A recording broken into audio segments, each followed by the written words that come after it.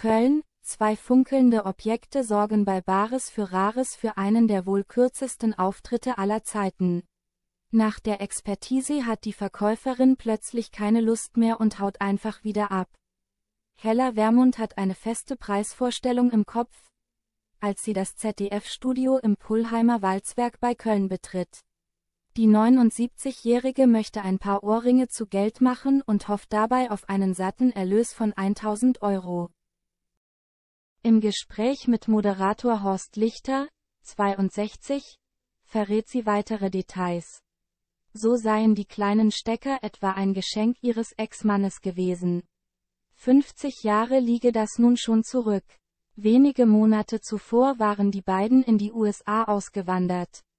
Anschließend nimmt Schmuckexpertin Heide Rezepa Zabel, 58, die Ohrringe ganz genau unter die Lupe.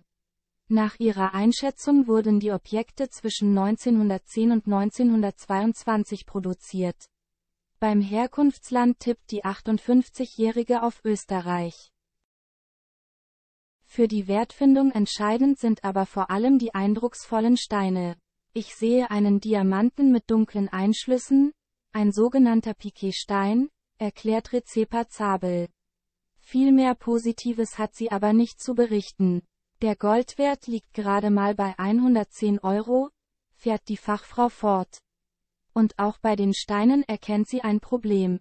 Bedauerlicherweise gibt es einen Abschlag auf der einen Seite, sagt Recepa Zabel über den Diamanten. Bares für Rares Verkäuferin will Meinung der Expertin nicht akzeptieren. Am Ende ihrer Begutachtung kommt sie deshalb zu einem geradezu niederschmetternden Ergebnis. Mit diesem Abschlag tue ich mich fast schwer 500 Euro dafür zu nennen. Eine Aussage, die bei der Verkäuferin für Empörung sorgt. Wie bitte? entgegnet Wermund in einem geradezu despektierlichem Ton. Doch Recepa Zabel lässt sich davon nicht aus der Ruhe bringen und betont, ich komme leider nur auf 700 bis 900 Euro. 1000 halte ich für unrealistisch. Obwohl die Differenz zwischen Expertise und Wunschpreis im Maximum nur 100 Euro beträgt, macht die Reiseunternehmerin kurzen Prozess. Eine Bekannte hat mich gebeten, nicht unter 1000 Euro zu verkaufen. Sonst nimmt sie den Schmuck für den Preis. Erklärt Wermund.